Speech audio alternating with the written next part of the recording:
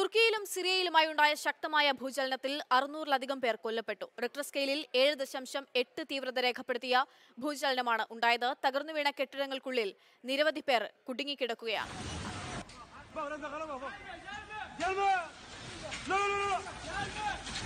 sakala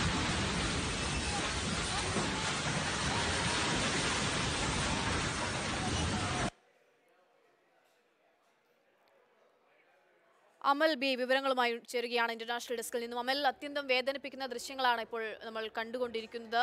മരണസംഖ്യ ഉയർന്നുകൊണ്ടേയിരിക്കുന്നു. രക്ഷാപ്രവർത്തനം എങ്ങനെയാണ് പുരോഗമിക്കുന്നത്? തുർക്കിയിലും സിറിയയിലും.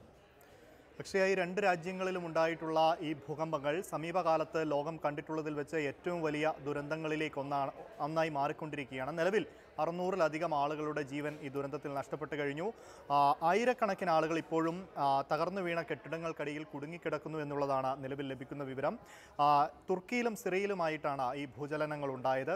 തുർക്കി തുർക്കിയുടെ പ്രാദേശിക സമയം ഏതാണ്ട് നാല് മണിയോട് കൂടിയാണ് പുലർച്ചെ നാല് മണിയോട് കൂടിയാണ് ഈ ഭൂകമ്പം ഉണ്ടാകുന്നത്. ആളുകൾ ഉറങ്ങിക്കിടക്കുന്ന ഒരു സമയമായതുകൊണ്ട് തന്നെ ആളുകൾക്ക് രക്ഷപ്പെടുവാനുള്ള ഒരു സാധ്യത കുറയുകയും ചെയ്തു. ഇത് ഈ അപകടത്തിന്റെ തീവ്രതയും വർദ്ധിപ്പിച്ചു. എന്തായാലും തുർക്കിയിൽ രണ്ട് ഭൂചലനങ്ങൾ ആദ്യം ആ, റിക്ടർ സ്കെയിലിൽ ഏഴ് ദശാംശം എട്ട് തീവ്രത രേഖപ്പെടുത്തിയ ഒരു ഭൂചലനം ഉണ്ടാകുന്നു. തുടർന്ന് പതിനഞ്ച് മിനിറ്റിന്റെ ഇടവേളയ്ക്ക് ശേഷം ആറ് ദശാംശം ഏഴ് തീവ്രത രേഖപ്പെടുത്തുന്ന മറ്റൊരു ഭൂചലനം കൂടി ഉണ്ടാകുന്നു. ഇങ്ങനെ തുടർച്ചയായിട്ടുണ്ടായ രണ്ട് ഭൂചലനങ്ങളിലാണ് തുർക്കിയും സിറിയയും ഈ വലിയ ദുരന്തത്തെ അഭിമുഖീകരിക്കേണ്ടി വന്നത്. തുർക്കിയിലെ മലത്യ ഒപ്പം തന്നെ ഉർഫ ഉസ്മാനിയ ദിയർബാക്കർ എന്നീ നഗരങ്ങളിലാണ് ഇതിന്റെ കെടുതികൾ ഏറ്റവും രൂക്ഷമായി ബാധിച്ചിരിക്കുന്നത്.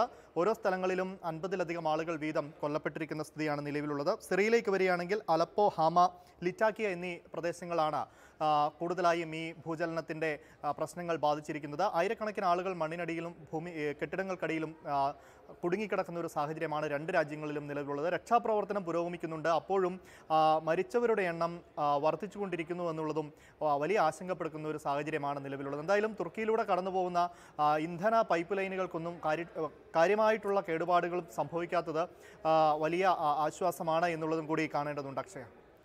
തീർച്ചയായും അമലാണ് വിവരങ്ങൾ നൽകിയത്. വേദനിപ്പിക്കുന്ന ദൃശ്യങ്ങളാണ് തുർക്കിയിൽ നിന്നുമൊക്കെ പുറത്തു വന്നുകൊണ്ടിരിക്കുന്നത്. ഇപ്പോഴും രക്ഷാപ്രവർത്തനം പുരോഗമിക്കുകയാണ്. രാത്രി ഉറങ്ങിക്കിടക്കുമ്പോൾ വരെയാണ് ഇത്തരത്തിലുള്ള കെട്ടിടങ്ങൾ ഭൂചലനം ഉണ്ടാവുകയും കെട്ടിടങ്ങൾ ഉൾപ്പെടെ തകർന്നു വീഴുകയും മരണസംഖ്യ ഇപ്പോഴും ഉയർന്നുകൊണ്ടേയിരിക്കുന്നു.